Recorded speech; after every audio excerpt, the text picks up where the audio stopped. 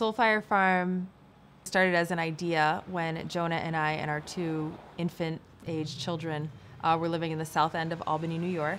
Our neighborhood was termed a food desert by the USDA, meaning that even if you try really hard, it's almost impossible to get good food, to get fresh fruits and vegetables because of distance and transportation barriers, because of income barriers. We actually prefer the term food apartheid because apartheid is a human created system of segregation based on race. Certain people live in food opulence and have access to their Whole Foods and their Trader Joe's and, um, you know, any type of food they want at any time. And there are also a large percentage of Americans, mostly Black, Latino, and Indigenous Americans, who don't even have enough to eat, never mind high quality food. And so the result of that is that even as our nation, rightly so, focuses attention on the rash of police killings against Black and Brown people and mass incarceration of Black and Brown bodies, we're actually five times more likely to die um, and be sick from diet related illness than we are from all types of violence combined as Black oh. people. Yeah, we have a pot of it. Um under the nettle tree. When we think about ourselves as farmers, we try to think beyond just providing for the food needs of the community, but also what are the movement needs of the community.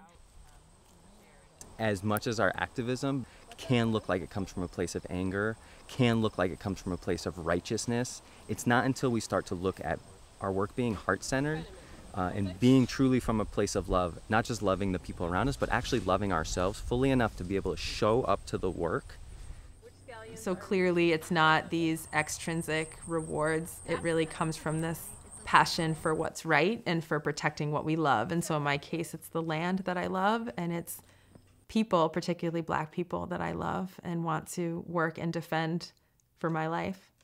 Around in the space. So, I'm going to ask you to just take a deep breath in. And make sure you fill up your whole chest, your whole back, your whole belly, and then just let that breath out. And then let's do another one. All the way in, chest, back, belly, and out. And one more. Breathe in all the way. Fill up your breath all the way to your toes. And out. and the reason that we are breathing is because when we breathe and pay attention to our breath, it reminds us that we are alive. And to be alive in this moment on this planet is for a reason. Each of us is blessed to be here, strong in body, strong in heart. And even with all the craziness going on outside of this circle in our society, in our world, all the heartbreak and pain, uh, we are still here, and we are still here for a reason. And today, uh, we came together and did some incredible things.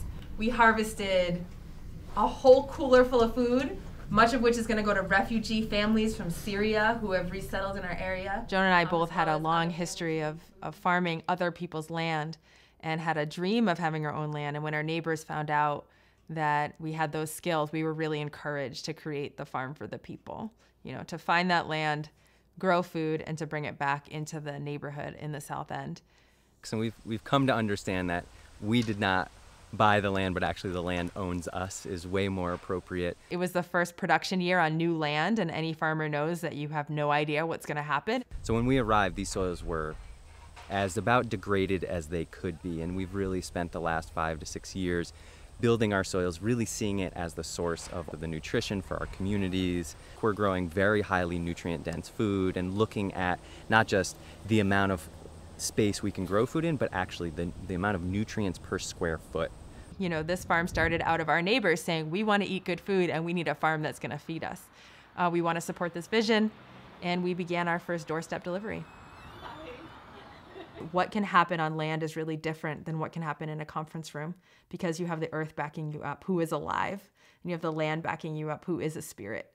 And they become part of that conversation and part of the new heart that the group is creating. That's awesome.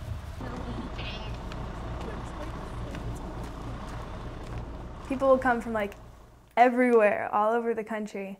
Um, and just to see how much they value our work and how much they want to be a part of it is really inspiring. What, what's in this anyway? Like, so it's, it's cabbage, uh-huh. uh, and then you saw me add in the salt to yeah. this other one, so I added salt, and then right at the end we put chilies. It's a whole mix up of chilies. There's cayennes, jalapenos, whatever we had growing. Ginger, garlic, onions So there's a lot of groups that need something as simple as a place outside of the city to meet um, and good food on their plate so they can focus on their strategic thinking. Um, there are some people who need training in terms of communication, nonviolent communication, or anti oppression, uh, or strategic goal setting. And so, if that's what's needed, that's what we provide. A lot of the people that come here are like really driven to change the world in what I think of as a better direction. If it's a specific skill, if it's food, encouragement, um, that's what our job is as as landowning farmers is to really support community-based leaders in exactly what they're asking us and telling us that they need. This work is so much bigger than us as humans, as individuals. It is community, it is spirit, it is the land, and all of that is really what just keeps us going and keeps us energized and, and fired up.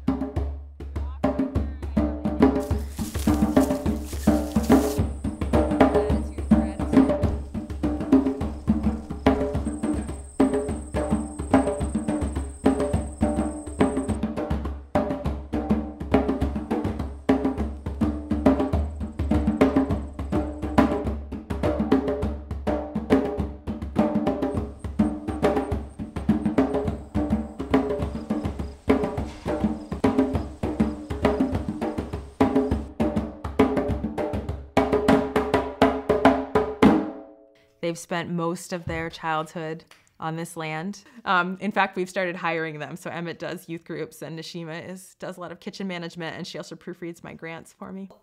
There was like a week where um, groups came every day, and I started like being a co-leader along with my mom for them, and I would like lead the tour. I would like if we did two tasks, I'd lead one of the tasks. Um, I just like in general help out with them, and that was that was pretty fun.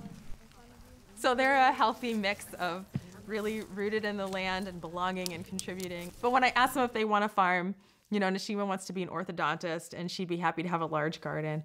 And Emet would like to um, be a Lego engineer or a filmmaker. And he'd be happy to have a large garden.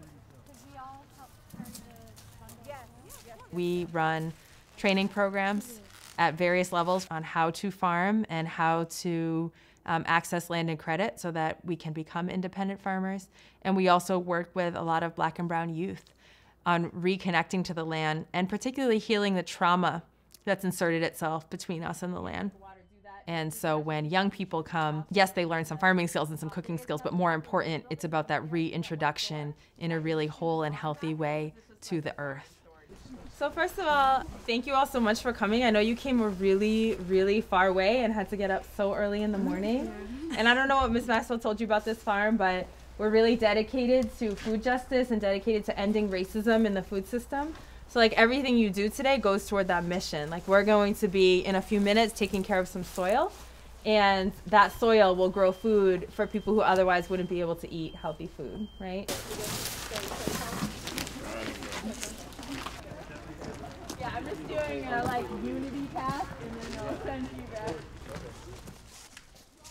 I've lived in the city my entire life, so this is definitely broader than what I'm used to. But it's exciting. You do this every day? Uh, we do, we farm every day. We don't do the same tasks every day. Oh. I think there's a hole in your bag. so each one of these sections needs 10 bags of limestone. Each person will take one and kind of spread it out in their section because we need this limestone not to just be dumped in one place. It's kind of like the way you put salt or pepper or adobo in your food. You like spread it, right? You have to spread it out. You don't just like clump it in one place.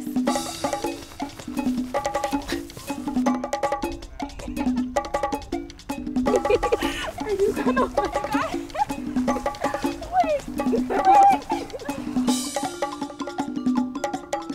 did not, I was not expecting think on one hand, I think it's a great experience for them just to develop some type of community and togetherness, and they're having a lot of fun. Additionally, it's a chance for them to actually just get in touch with the land, you know, get in touch with understanding where your food really comes from. There are children, or men and women as well, who are, you know, uh, of color. We don't get the same privileges as I guess someone with you know a lighter skin tone than me. The in the food system in a whole, the product usually goes towards a small percentage of people rather than a broader percentage that needed more. We're reading a book called Fast Food Nation, and like on the chapter they were on right now, it's about the farms. So my teacher decided that hey, you know, we should go on a field trip and to a farm and actually see what the people are talking about in the book. I chose the book because many of our students are low income. Many of them don't have time to eat healthy, delicious meals because they're balancing work and family commitments and uh, going to school. In Fast Food Nation, we're talking about how the food is grown and what's inside of the food that we eat. Like all the chemicals that they add, it's not even just naturally grown anymore. But um, it, it's still good though. I'm, I'm not gonna lie, I'll, I'll still buy it. I would still like to know what I'm, what kind of stuff I'm taking a bite into, you know. If you notice, like in supermarkets, when you want to buy like uh, vegetables or actually healthy stuff or organic stuff, you actually realize how much uh, pricier they are compared to like you know genetically modified stuff. So it's like, oh, okay, this is a little bit cheaper than the organic one. Let's go for the cheaper one because, you know, families, like my family, we, we had to like stretch a buck. Because they discuss food and social justice I really began to think about Soul Fire Farm as a great experiential ed opportunity for them. So I definitely believe in what she's doing and I support it. And I didn't really, you, it's a wake up call because things are usually given to me. So now it's seeing like I can give back basically. When I look back on this, I'm like, wow, I really did something. Am I doing everything in my power that's reasonable without depleting myself? Toward those ends, yes, I'm doing that. That is what I'm obligated to do for myself and my children and my grandchildren, everyone's grandchildren. And if I can inspire one person or 10 people or 100 people to do the same, that collective energy might be enough to shift the machine. And if it's not, and we lose, which is possible, I would rather go out knowing that I never gave up hope, that I always did my best, that I always believed in a bright future, and in the process of, of building that bright future, I'm actually having a good life. And my children are having a really good life. And the people who come here are having a better life. And so the present moment is enriched by that work, right? And possibly will win and all future moments will be enriched. But if not, we didn't lose anything, right? We just did our best. And that's, I think that's what we're obligated to do. Uh, do a thank you, a grace, and the way this works is that every person is gonna think of one word that you're grateful for, say it into the circle, and we will echo it back. So if I was grateful for love, I would say love, and you would say love, love. like that, and we'll pass it around. So. Uh, community. Community. Action. Action. Family. Family. Hope. Hope. Peace. Peace. Memory. Memory. Love. Love. Knowledge. Knowledge. Food. Food. Growth. Growth. Education. Education.